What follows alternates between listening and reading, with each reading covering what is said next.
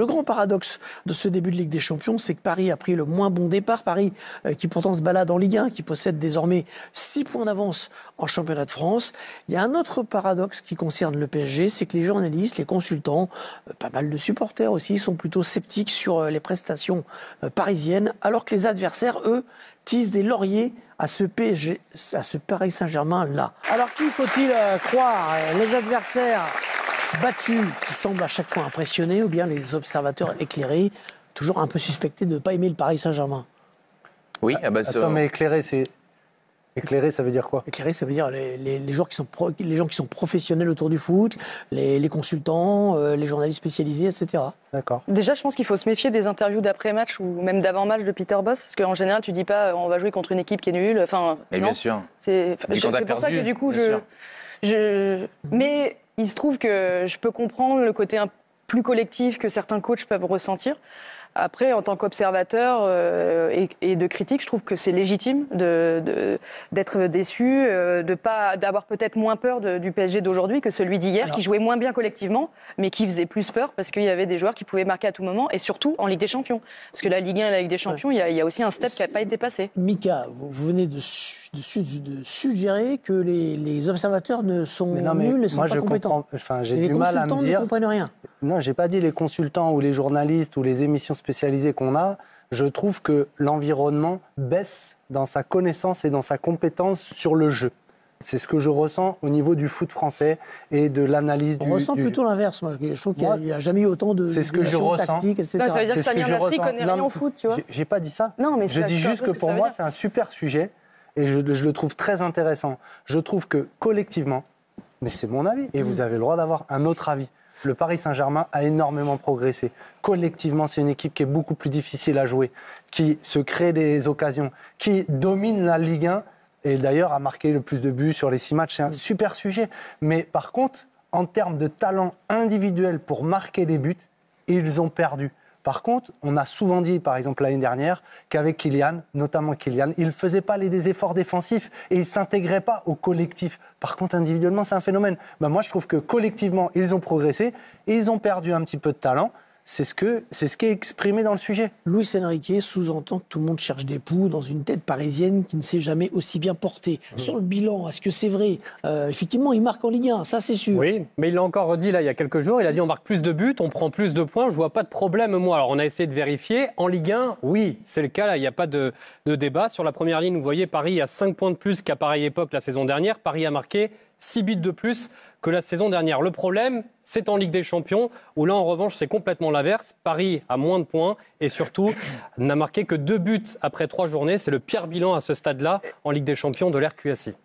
Non, mais c'est vrai que par rapport à ce que disait euh, notamment euh, Mickaël, hier, je suis allé au stade et j'ai pu avoir une discussion notamment avec un joueur euh, Lançois qui n'avait pas vocation à être dit sur un plateau de télévision, donc sa parole était libre et il m'a dit très clairement, c'est vrai que le PSG pour moi, donc pour lui, était, est meilleur euh, collectivement. Ils, vont, ont sans doute vocation à encore plus dominer en Ligue 1 cette saison. Pour le moment, les chiffres euh, en attestent parce qu'ils sont mieux organisés, parce que tout le monde défend. Mais qu'en revanche, il y a moins de, de, de, talent, de talent individuel. Et mm, qu'on le veuille ou non, le foot, c'est pas uniquement des structures, c'est aussi bah, des joueurs qui sont capables de faire la différence. Et il y en a moins. Et ça peut pas être un hasard, quoi qu'en dise notre ami Louis Enrique, si il leur faut 52 occasions pour en mettre une. C'est le constat du match d'hier, c'est le constat du match du PSV. Ce qui, tue, ce qui tue la stat, par exemple, c'est le match du PSV.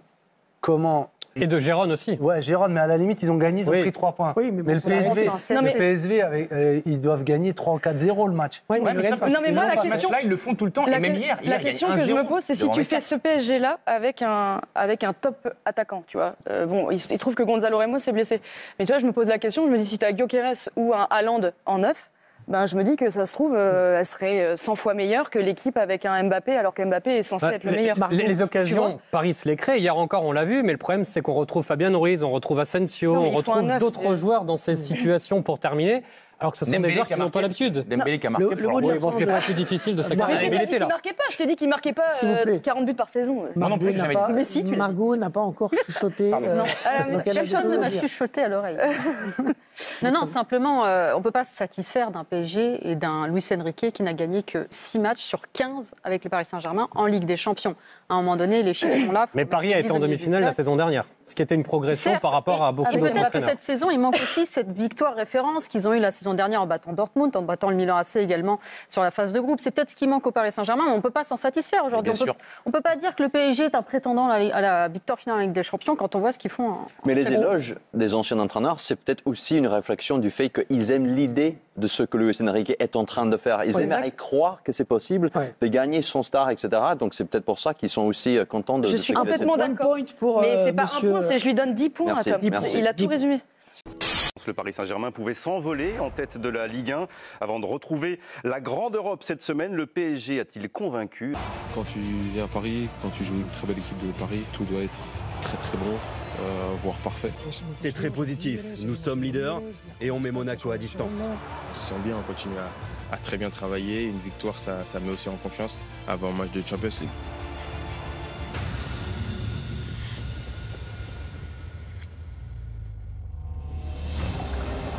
Au coup d'envoi, Paris sait qu'une victoire permettrait d'avoir 6 points d'avance en tête de la Ligue 1.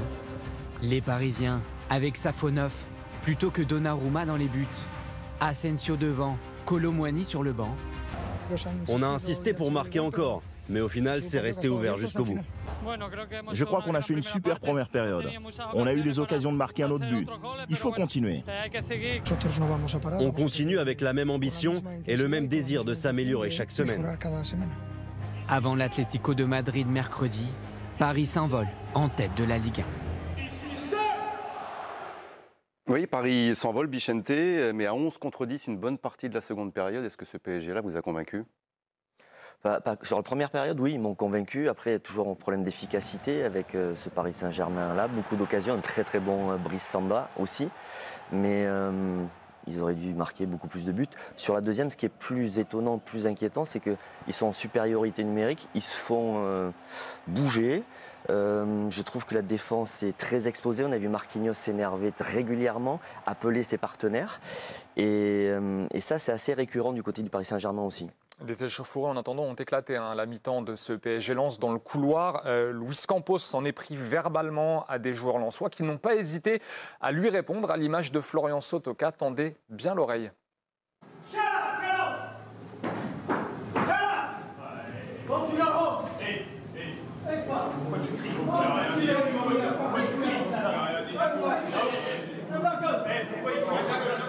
Surprenant euh, de la part du dirigeant parisien, euh, ça dénote quoi De la tension avant d'affronter l'Atlético La tension, j'en sais peut-être la tension par rapport à la Ligue des Champions, mais c'est quoi ce comportement de dirigeant? Dire, Dans une situation où lui, il n'a pas spécialement à s'énerver, et puis surtout, le Shadab fermez la tous, mais pour qui il se prend?